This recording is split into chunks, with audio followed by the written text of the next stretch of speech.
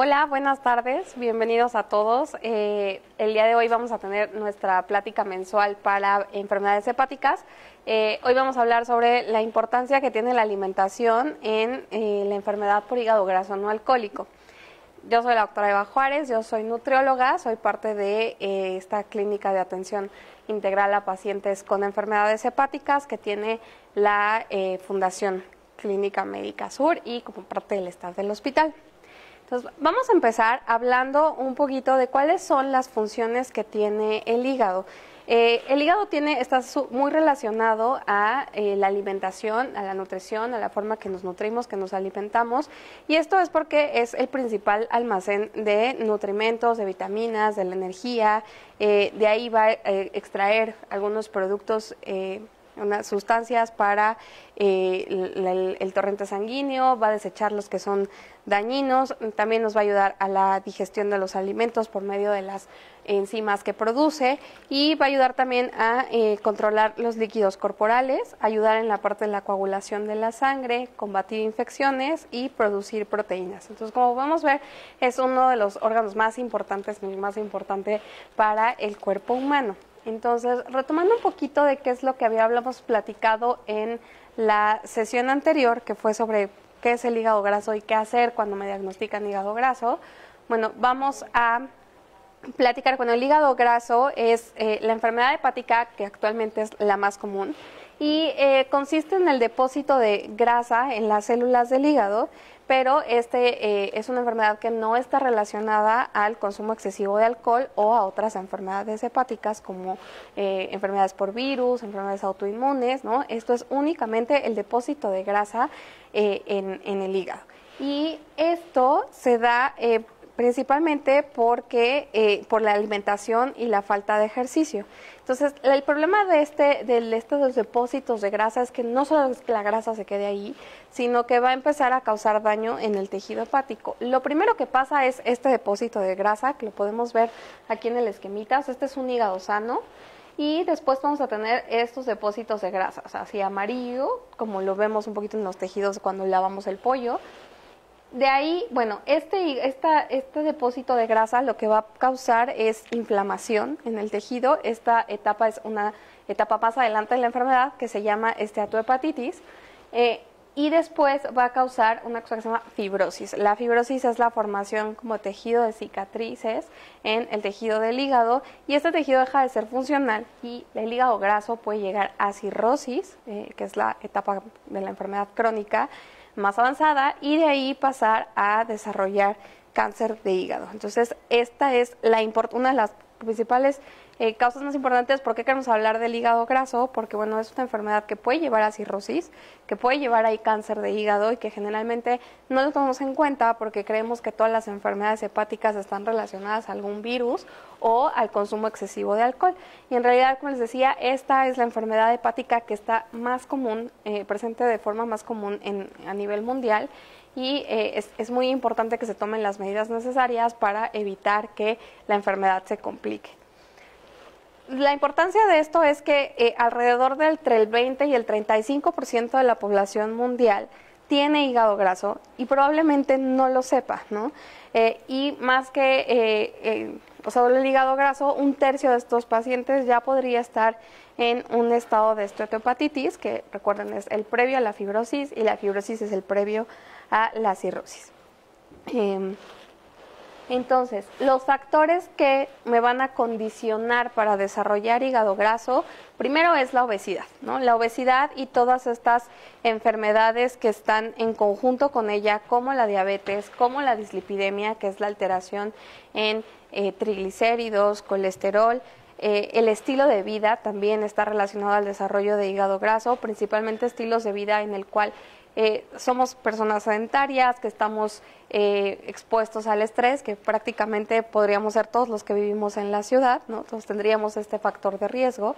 Eh, el tener o el que me hayan diagnosticado síndrome metabólico, que es la combinación de esta alteración de los, de los triglicéridos, del colesterol, de los lípidos en general, más la obesidad, más la presencia de diabetes o resistencia a la insulina y presión arterial alta, ¿no? Otro de los factores de riesgo por los cuales pudiéramos sospechar que existe hígado graso es por la circunferencia abdominal, ¿no? Eh, el depósito de grasa al nivel del abdomen eh, nos, puede eh, dar, que sea grande, pues nos da este factor de riesgo para desarrollar hígado graso. Es muy importante que sepamos que la circunferencia de cintura o la circunferencia abdominal debe de medir menos de 90 centímetros en hombres y menos de 80 centímetros en mujeres. Eh, el hecho de que sobrepase estas medidas, o sea, más de 90 centímetros en hombres, más de 80 centímetros en mujeres, nos condiciona a riesgos cardiovasculares y también al desarrollo de hígado graso. Eh, el, principal problema, uno de los principales eh, problemas de, que está asociado al hígado graso es la resistencia a la insulina. Eh, la resistencia a la insulina está presente en personas que tienen diabetes, en personas que tienen grados avanzados de obesidad o incluso en, algunas personas con sobrepeso y en el síndrome metabólico. Entonces, pudiéramos decir que la mayoría de los pacientes que están diagnosticados con síndrome metabólico probablemente también tengan hígado graso. De hecho, el hígado graso está considerada como la manifestación hepática del síndrome metabólico. Muy importante eh, de esto es que, bueno, los pacientes que eh, son diabéticos tienen mucho más riesgo de desarrollar hígado graso. Los pacientes que tienen hígado graso tienen mayor riesgo de desarrollar diabetes. Y eh, estos pacientes que tienen este eh, conjunto de enfermedad, que es el, hígado graso más la diabetes, tienen más riesgo de que esta enfermedad se complique, que llegue a la esteatohepatitis, a la inflamación, a la fibrosis y la cirrosis y posteriormente el, el cáncer, perdón, el cáncer de hígado. Entonces, ya estoy recordando eh, qué fue lo del hígado graso que tenemos que hacer, o sea, qué, qué pasa cuando nos diagnostican hígado graso. Y bueno, vamos a hablar del tratamiento que existe para esta enfermedad. Y eh, la cuestión es que la primera línea de tratamiento, o sea, no existe un medicamento como tal que nos ayude a controlar el hígado graso como lo hace, eh, por ejemplo, la metformina con la diabetes o algunos medicamentos con eh, los triglicéridos, la elevación de colesterol y triglicéridos. El, el, tratamiento, la primera línea de tratamiento para el hígado graso es la modificación de hábitos de alimentación y el ejercicio, ¿no? Es, es, es una enfermedad que su disminución o su em, cura, por así decirlo, está totalmente relacionado a la forma en que nos alimentamos y la cantidad de ejercicio que hacemos. Entonces, el tratamiento está eh, enfocado en prevenir la progresión de la enfermedad, o sea, prevenir que estos depósitos de grasa empiecen a causar inflamación, que lleven a la fibrosis y que lleven a cirrosis. Y esto es identificando eh, los factores de riesgo y la corrección de los factores de riesgo, ¿no? Entonces, eh, lo primero que tendríamos que hacer, sobre todo, les decía, esta es una enfermedad que está ligada a la obesidad y el sobrepeso, aunque existen pacientes que son eh, de peso normal y también tienen hígado graso. O sea, no es una enfermedad exclusiva de la obesidad y el sobrepeso, porque les decía, está relacionado con la forma en que comemos. Entonces, probablemente tenemos unos muy malos hábitos de alimentación que aún no se están reflejando en el peso, pero ya empieza a causar este, estos depósitos de grasa en el tejido hepático. Entonces, eh, hablando de los pacientes que tienen obesidad o sobrepeso con hígado graso, lo primero que buscamos es que haya una pérdida de peso que sea gradual y que sea controlada. Ahorita vamos a hablar un poquito más de eso. Solo les voy a mencionar cuáles son los objetivos que, que, buscamos en un paciente con hígado graso. El segundo objetivo es lograr eh, realizar ejercicio aeróbico de intensidad moderada eh, vamos a hacer actividad física, ¿no? Eh, eliminar la parte sedentaria del, del, estilo de vida para que podamos eh, incluso, bueno, mejorar todos estos riesgos que tenemos de enfermedades cardiovasculares, desarrollo de diabetes por la falta de actividad física. El otro objetivo es modificar los hábitos de alimentación. Esto va relacionado con esta pérdida de peso que tiene que ser controlada. la pérdida de peso ideal o la forma saludable de perder peso eh, muchos quisiéramos que hubiera una pastilla para poder lograrlo o una receta mágica, pero la verdad es que la magia del perder peso está en modificar todos nuestros hábitos de alimentación y nuestro estilo de vida. Y digo la magia porque no solamente va a quitar el hígado graso, sino que nos va a disminuir el riesgo para muchísimas enfermedades, incluso algunos tipos de cáncer que están relacionados con la obesidad, las enfermedades hepáticas, los riesgos cardiovasculares. Eh, enfermedades crónicas degenerativas como Alzheimer, como Parkinson, que pudieran también estar relacionadas a los hábitos de alimentación. Y esta parte que les decía de identificar y corregir estos factores de riesgo va hacia el control de la diabetes y al control de la dislipidemia. Y no necesariamente que ya exista un diagnóstico de diabetes o un diagnóstico de dislipidemia para empezar a corregirlo, sino tener una vigilancia y entonces ver cómo están estos niveles a lo largo del tiempo y si se empiezan a elevar, bueno, poder actuar a tiempo antes de que ya tengamos que hacer un diagnóstico de diabetes o antes de que tengamos que tomar un medicamento para disminuir eh, el colesterol y los triglicéridos, ¿no? Podemos tener un paciente que tiene hígado graso, que solamente tiene eh, elevación de colesterol triglicéridos, bueno, no nos vamos a esperar a que sea diabético, vamos a corregir esta, esta, estas anormalidades del laboratorio y bueno, automáticamente vamos a modificar el, el estilo de vida y disminuir los laboratorios que pudieran estar eh, alterados, ¿no? Entonces, el tratamiento de la esteatosis básicamente es la prevención y la corrección de los factores de riesgo. Y bueno, esto, obviamente, como les decía, todo está ligado a la alimentación, entonces nuestras recomendaciones de alimentación, decía, bueno, primero es esta reducción de peso, ¿no? La reducción de peso lo que va a hacer es mejorar el metabolismo y eliminar las grasas que estén eh, sobrantes en, el torrente sanguíneo y esta reducción debe de ser gradual y debe de ser controlada por un especialista. ¿Por qué? Porque se ha demostrado que los pacientes que tienen hígado graso y tienen una pérdida de peso drástica pueden incluso empeorar o, hacer, tener más depósitos de grasa. ¿no? Entonces, eh, esta pérdida tiene que ser eh, gradual, tiene que ser controlada, debe de estar eh, una alimentación balanceada por un especialista, vamos, por un nutriólogo, una nutrióloga. Y bueno, lo que buscamos es que perdamos máximo 4 kilos por semana, ¿no? La pérdida de peso saludable es un, un, kilo por semana, perdón, son 4 kilos al mes, un kilo por semana es la pérdida de peso saludable. Y bueno, sí está demostrado que perder del 7 al 10 ciento de nuestro peso con el que tenemos el diagnóstico de hígado graso mejora la esteatosis, ¿no? Entonces, si yo soy un paciente que pesa 80 kilos este, y tengo hígado graso, bueno, mi primer objetivo es lograr perder 8 kilos en un periodo, en este caso sería de dos meses, ¿no? Hay muchas veces que hay eh, otras enfermedades concomitantes, como puede ser esto de la diabetes eh, la, o resistencia a la insulina, la elevación de colesterol y triglicéridos, que probablemente hagan un poquito más lento el proceso, pero bueno, en un escenario ideal sería perder estos 8 kilos, ¿no? Eh, y bueno, esto es para mejorar la esteatosis. En el caso de que ya hubiera fibrosis o pudiéramos ver que, por algún estudio específico que ya hay eh, inflamación, que esto que, decíamos que se llamaba esteatohepatitis, bueno, se sabe que la pérdida mayor al 10%, o sea, más de estos 8 kilos en este paciente de 80, este, puede mejorar la fibrosis. La fibrosis en, etapas muy tempranas, ¿no? Eh, hay 4 grados de fibrosis, entonces sería en la primera etapa de fibrosis cuando la pérdida de peso nos pudiera ayudar eh, eh, con ello, ¿no? Pero lo más importante es que esta pérdida sea controlada y que sea gradual, que no sea drástica, ¿no? Entonces, eh, esto va a... Em, va de la mano con todas las recomendaciones y los cambios, cambios en los hábitos de alimentación. Y lo primero que tenemos que hacer, pues bueno, es evitar el consumo de grasas.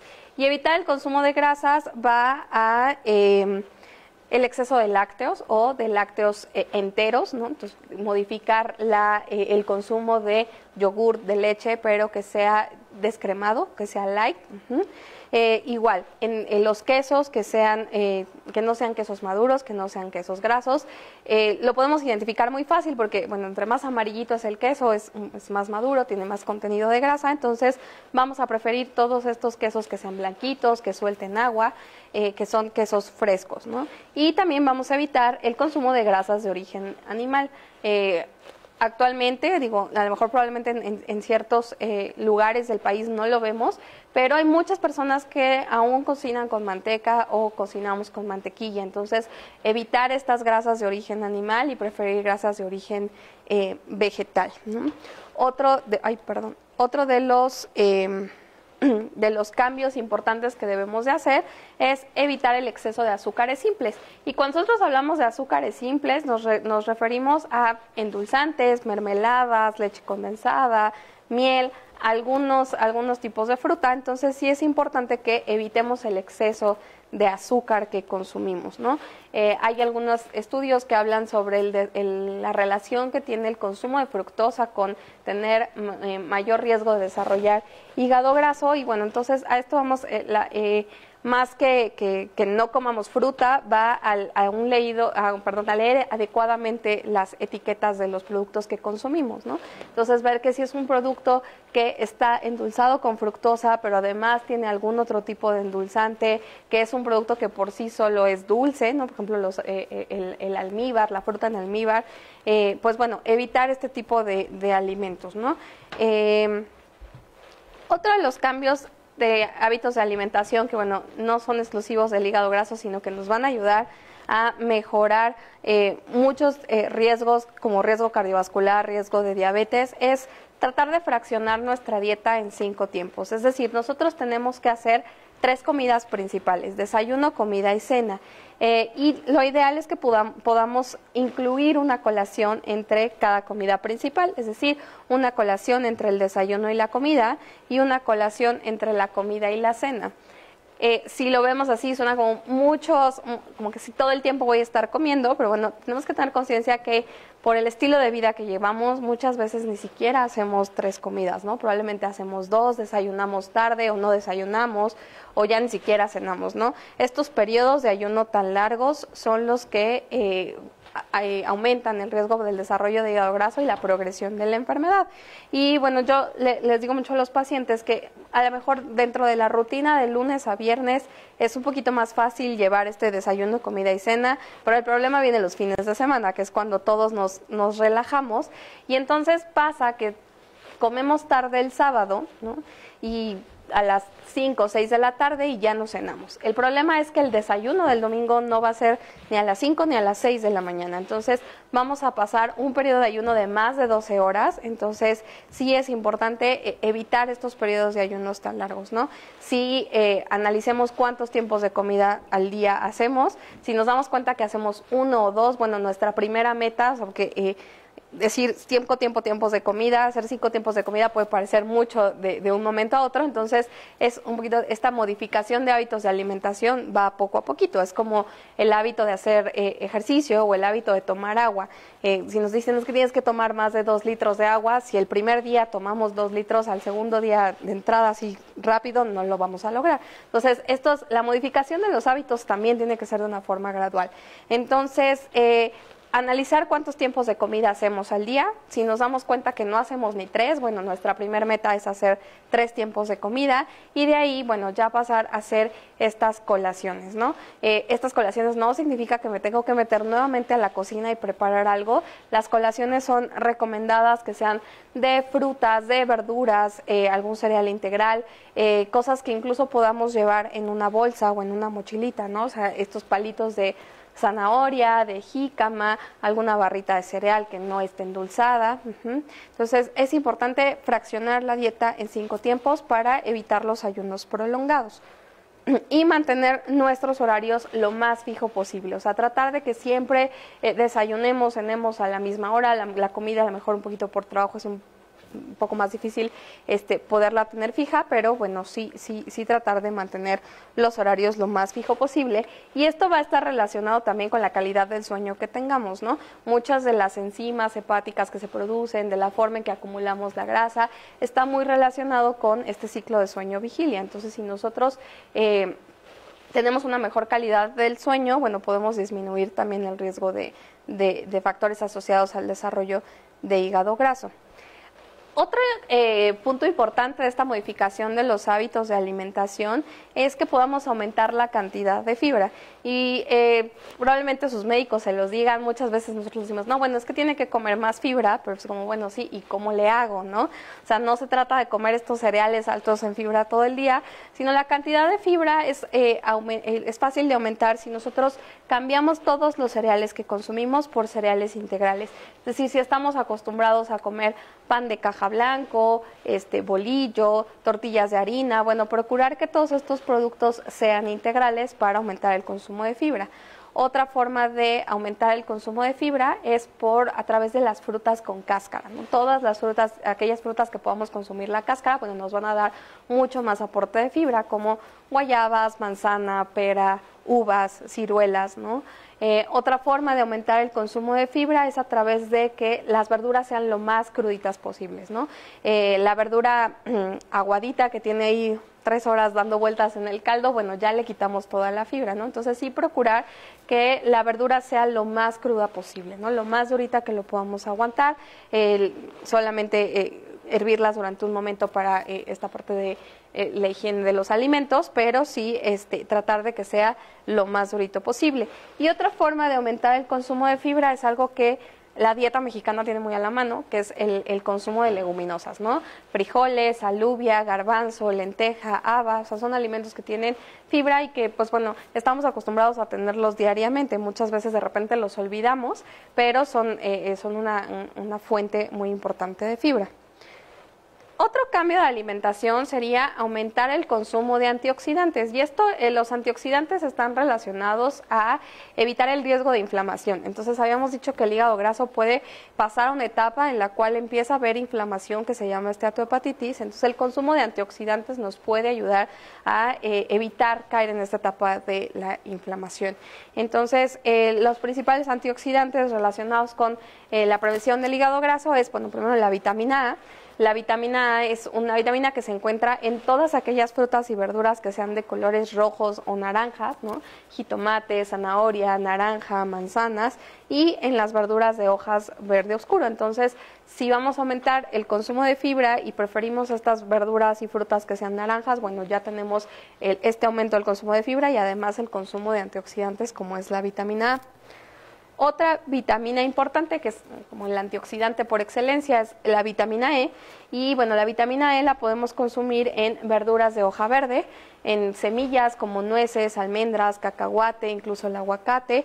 Sí es importante que tengamos este consumo de semillas, o sea, sí... Eh, probablemente lo han escuchado, está relacionado a la disminución de colesterol, triglicéridos, pero es muy importante que tengamos en cuenta que las porciones que consumimos, ¿no? O que no nos pasemos de veces a la semana que las consumimos de todo en, moderación es mejor. Entonces, no se trata de que comamos todos los días nueces, almendras, cacahuates, pero sí al menos unas dos o tres veces por semana. Y bueno, una porción pequeña, ¿no? Diez almendras, cinco nueces, eh, un puñito de cacahuates, que sean naturales, no japoneses. Obviamente, todas estas semillas deben de ser en su forma natural, no garapiñadas, no cubiertas de chocolate. Pero sí es importante que tengamos en cuenta que, a pesar de que son grasas que puedan tener algún beneficio, bueno, sigue siendo grasa y, y su exceso puede eh, causar eh, problema por ahí, ¿no? Otra fuente importante de la vitamina es la soya, entonces también podemos empezar a incluir soya en, en nuestros hábitos de alimentación.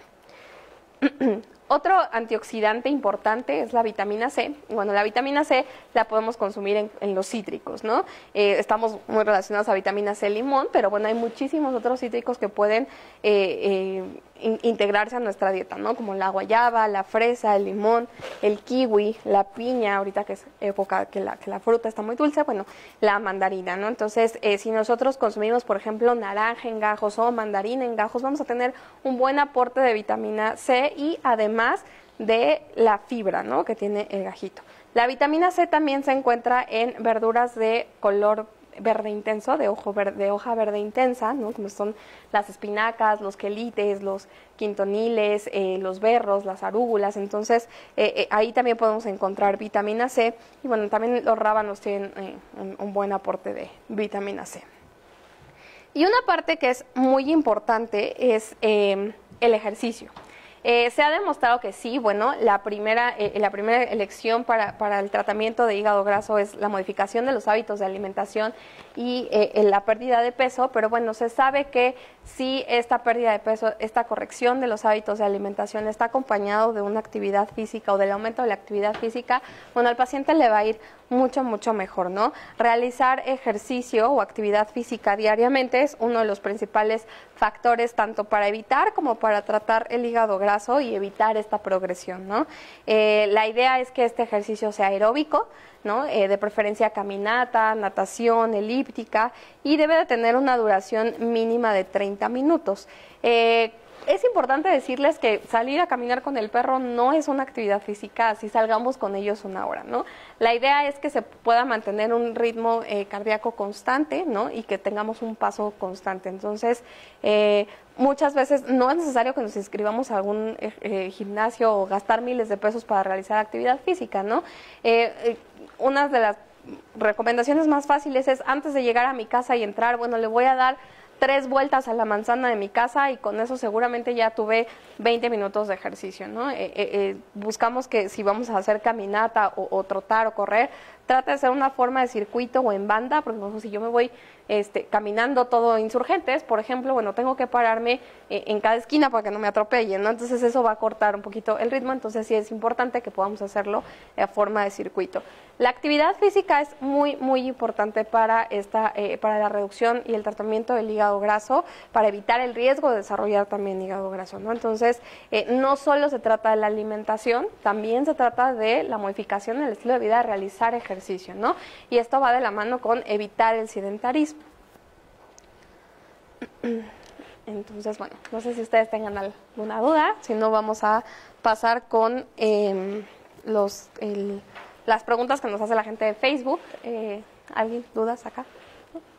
Ok, perfecto. Bueno, entonces, eh, ok, los medicamentos alternativos, eh, bueno, dan nombres de dos, dos medicamentos que están relacionados como a protección del hígado eh, y, preguntan cómo nos benefician. Bueno, esto es algo que tratábamos en la, en la sesión pasada con el doctor Norberto. Actualmente no hay ningún este, medicamento que compruebe realmente que pueda causar, o sea, que, bueno, que pueda provocar un beneficio en eh, la reducción de riesgos hepáticos, ¿no? De, eh, ya sea de cirrosis, ya sea de hígado graso. Entonces, estos medicamentos, bueno, habría que consultarlo con el médico, pero en general no hay ningún medicamento que o algún suplemento que nos ayude a revertir el hígado graso o que nos limpie el hígado, no, esto no pasa.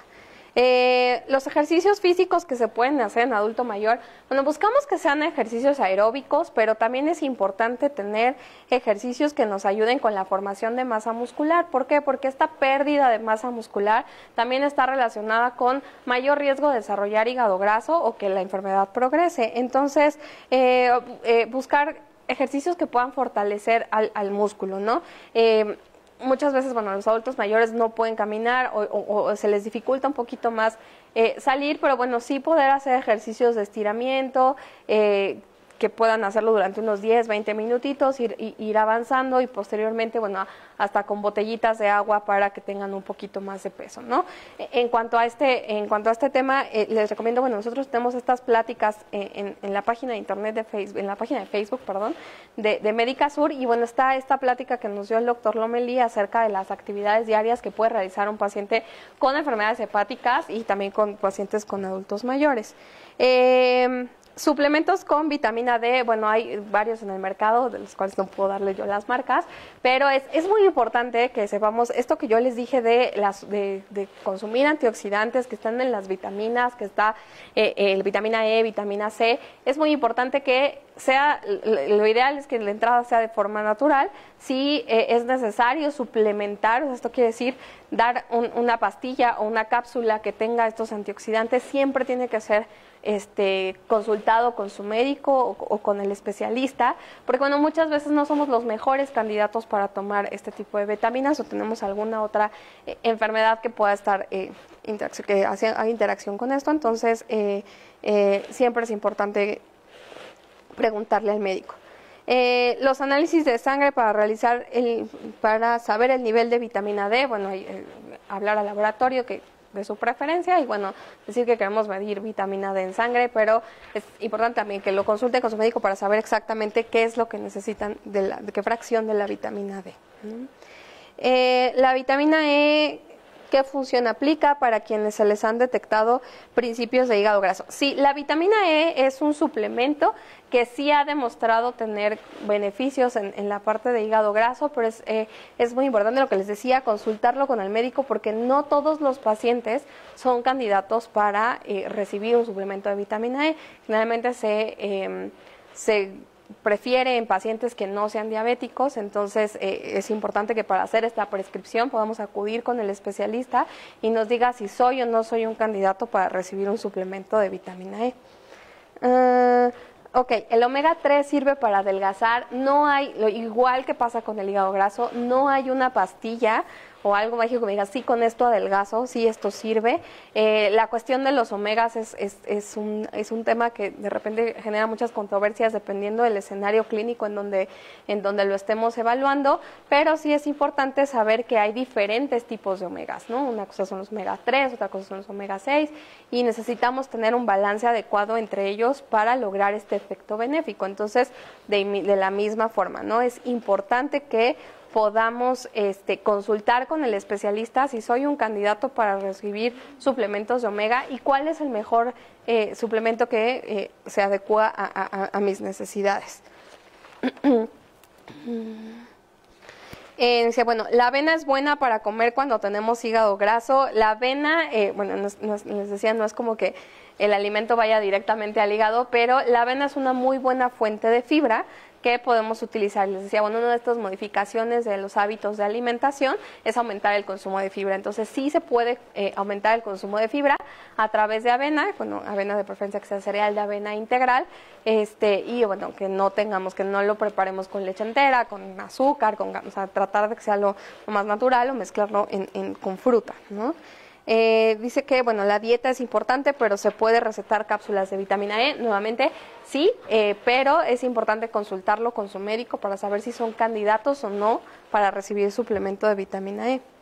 Eh, es aconsejable hacer ayunos intermitentes, hay mucha controversia, me gustaría saber su opinión. este nuevo esquema de alimentación, que son ayunos intermitentes, que bueno, consiste en em, modificar los hábitos por algunos días eh, específicos a tener una dieta normal y luego modificar el hábito. Eh, no existe una evidencia aún, o sea, no hay un estudio sólido que nos diga que el uso de eh, ayunos intermitentes o la práctica de ayunos intermitentes mejoren o eviten el hígado graso. Todavía es, bueno, es, muy controversial, es una corriente relativamente nueva, necesitamos todavía más estudios para poder decir, bueno, sí, el, ayuno intermitente ayuda a la reducción o a la prevención de hígado graso. Hasta el momento no se ha, no se ha visto ningún efecto específicamente sobre, sobre hígado graso. Eh, ¿Cómo se puede prevenir el hígado graso? Bueno, la forma de prevención de hígado graso es mantener un estilo de vida saludable. Esto es eh, hacer esta modificación temprana de estos hábitos de alimentación, o sea, no esperar a que me digan que tengo hígado graso para aumentar el consumo de fibra, el consumo de agua, eh, los antioxidantes, esta parte de fraccionar la dieta. entonces, una forma de prevención es primero identificar cuáles son los factores de riesgo que tenemos, ¿no? O sea, si ya me doy cuenta que estoy un poquito pasado de peso, que mi circunferencia de cintura abdominal, pues bueno, ya no está en los 60 que debería estar o que eh, va, va, empieza a sobrepasar 90 centímetros en hombres, 80 centímetros en mujeres, bueno, darnos cuenta que probablemente tenemos un mayor riesgo de desarrollar hígado graso. Entonces, modificar los hábitos de alimentación, eh, empezar a eh, modificar esta parte sedentaria del estilo de vida, empezar a hacer ejercicio y acudir con un especialista. Si nosotros sabemos que empezamos a subir de peso, que algo está cambiando en nuestro cuerpo, bueno, tratar de hacer un chequeo general, ir con un especialista y que me pueda decir, bueno, sí, si tienes hígado graso, qué grado de hígado graso tengo, si este hígado graso ya tiene alguna progresión la enfermedad, cuáles son las estrategias a seguir y bueno, si es si si tengo, por ejemplo, también ya resistencia a la insulina o alteración de colesterol y triglicéridos, bueno, ir atendiendo todos estos factores de riesgo que van a, ayudar al desarrollo de hígado graso o a la progresión de hígado graso, ¿no? Entonces, pero principalmente es modificar este estilo de vida, ¿no? Eh, eh, eh, hábitos saludables de alimentación, de ejercicio.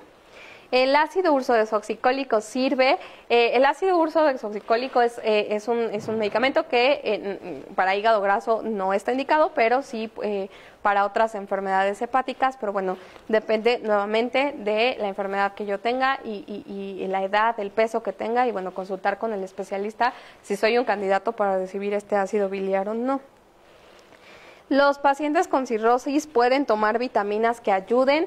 Eh, la, recomendación de suplementación de vitaminas para pacientes con cirrosis es Depende, o sea, no les podemos decir si todos los pacientes deben de tomar tal vitamina, no, es muy específica en cada caso. Hay pacientes que tienen, presentan alguna deficiencia de vitamina, hay pacientes que no, hay pacientes que no, este, que, que que no son los mejores candidatos para recibir una suplementación de vitaminas, sobre todo porque recordemos al principio de la plática hablábamos de cuando eh, eh, eh, el hígado es quien se encarga de metabolizar, de, producir y, sintetizar todas estas vitaminas y bueno, si el hígado está dañado, bueno, tendríamos que este, preguntar a nuestro médico especialista, a la nutrióloga, si yo, paciente que tengo cirrosis o mi familiar que tiene cirrosis, debería o pudiera yo tener algún suplemento de vitaminas. Eh, eh, si tengo hipotiroidismo, me ayudará hipertiroidismo, me ayudará el medicamento. No entiendo cómo para qué le puede ayudar cuál medicamento, no sé si le ponen así.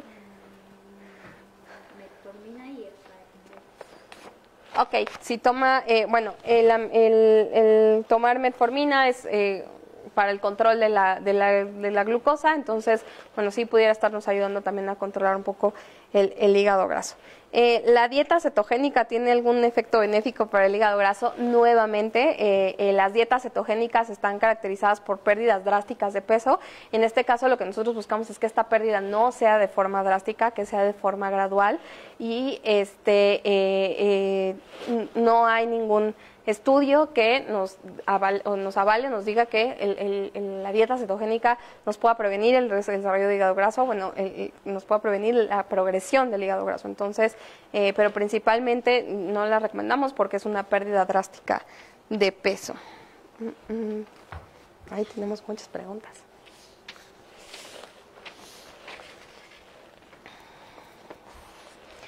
Dice, eh, cuando un paciente tiene un trasplante de hígado y tuvo tratamiento para erradicar el virus de hepatitis C, ¿qué le recomendaría para alimentarse? Bueno, es muy importante, eh, sobre todo en pacientes que tuvimos infección por virus de hepatitis C y que ya tomamos los antivirales directos o tratamientos para poder eh, eliminar el virus, eliminar esta parte que está dañando al hígado.